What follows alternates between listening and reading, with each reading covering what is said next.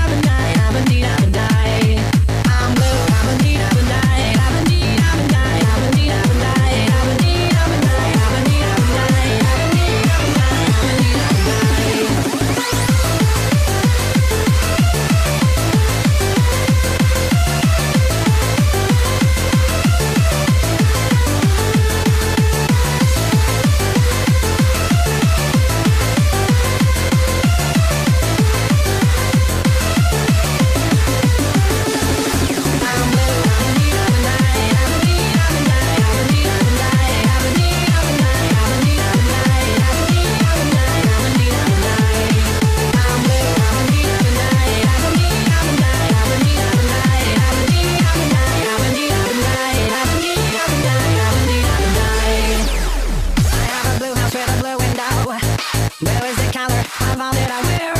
The streets and the trees too? I have a girlfriend and she is so blue. Are the people here that walk around? Like my Corvette, it's outside. Are the words I say and I think? Are the feelings live inside me?